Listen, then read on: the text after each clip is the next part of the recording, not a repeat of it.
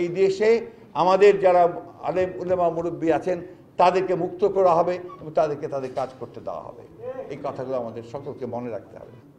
আমাদেরকে এই দেশে যারা আমরা স্বাধীনতায় বিশ্বাস করি, ধর্মীয় স্বাধীনতায় বিশ্বাস করি, আমাদের ধর্মীয় মূল্যবোধে বিশ্বাস করি, আমাদের এখানে সারা জীবন বাংলাদেশে মানুষ একটা সাম্প্রদায়িক সম্প্রীতির মধ্যে বাস করেছে। এখানে আমরা মুসলমানরা আমরা আমাদের মতো ধর্ম পালন করেছি।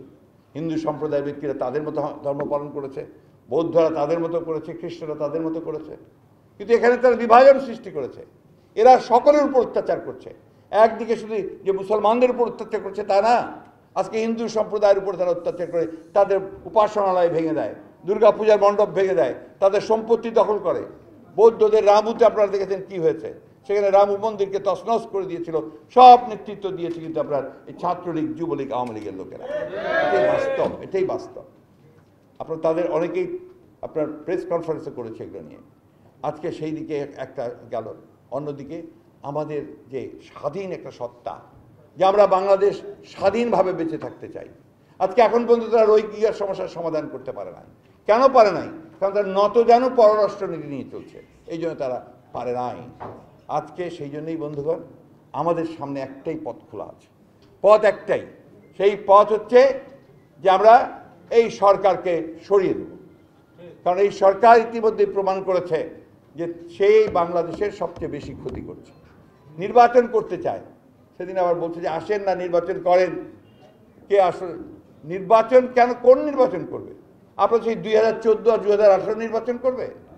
নির্বাচন এখানে কখনোই হবে না। যতক্ষণ পর্যন্ত না এখানে একটি নিরপেক্ষ তত্ত্বাবধায়ক সরকার গঠন করা হচ্ছে। তাই আমরা খুব স্পষ্ট করে বলেছি। আমরা সকল রাজনৈতিক দলগুলোর সঙ্গে কথা বলছি তাদেরকে আমরা এই কাতারে আনার চেষ্টা করছি যে আমরা আগে, সবার আগে যে কাজটা করতে হবে, যে আপনাকে পদত্যাগ করতে হবে। প্রধানমন্ত্রীকে পদত্যাগ করতে হবে এবং ক্ষমতা হস্তান্তর করতে হবে একটা নিরপেক্ষ তত্ত্বাবধায়ক সরকারের হাতে। সংসদ বিলুপ্ত করতে হবে, বাতিল করে দিতে হবে। এবং নতুন যে তত্ত্বাবধায়ক সরকার আসবে, সেই সরকার একটা নতুন নির্বাচন কমিশন গঠন করবে। নতুন নির্বাচন কমিশন গঠন করার মধ্যে দিয়ে একটা পার্লামেন্ট নতুন করে গঠন করা হবে। বন্ধুগণ, আপনারা তো অনেক পণ্ডিত মানুষ আছেন, অনেক বিজ্ঞ মানুষ আছেন, এখানে আলে উলেমারা আছেন। আপনারা অনেকেই আছেন যারা ছাত্রদেরকে আপনারা পড়ান, শেখান, সব শিক্ষা দেন। আপনাদের দায়িত্ব কিন্তু অনেক বেশি। আপনাদের দায়িত্ব হচ্ছে যে আজকে জনমতকে সংগঠিত করা মানুষকে সংগঠিত করা সত্যের পথে ন্যায়ের পথে। আমরা অন্যায়ের কিছু কথা বলি না। আমরা বলি যে সঠিক পথে যাও। আমরা বলি না যে বিএনপিকে ক্ষমতায় বসিয়ে দাও না। আমরা তো জনগণ যাদেরকে চায় তাদেরকে ক্ষমতায় বসাতে হবে। তারা দেশ চালাবে তাই না? আজকে আমি বক্তব্য বাড়াবো না। আপনারা অনেক কষ্ট পেয়েছেন গরমের মধ্যে তারপরেও আপনার আছেন সেজন্য আপনাদেরকে ধন্যবাদ। কিন্তু লক্ষ্য একটাই আর উলামা দলের কাছে আমার অনুরোধ আছে আর কি, যে সংগঠনটাকে শক্তিশালী করেন এবং প্রতি জেলায় জেলায় উপজেলায় উপজেলায় গিয়ে আপনারা এই সংগঠনকে শক্তিশালী করার গড়ে তোলার জন্য ব্যবস্থা গ্রহণ করেন। সমস্যা সকলের আছে। আমাদের ছেলেরা প্রাণ দিচ্ছে ইতিমধ্যে পাঁচজন শহীদ হয়ে গেছে।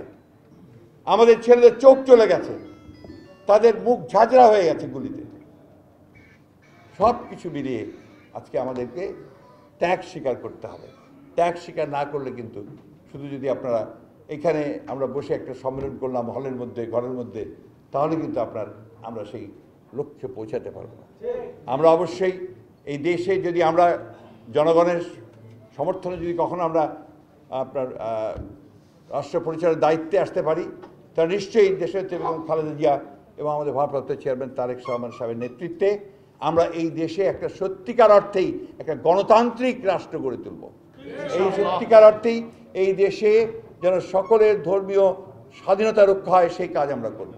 এই দেশে আমাদের যারা আলেম, উলেমা, মুরব্বী আছেন, তাদেরকে মুক্ত করা হবে এবং তাদেরকে তাদের কাজ করতে দেওয়া হবে এই কথাগুলো আমাদের সকলকে মনে রাখতে হবে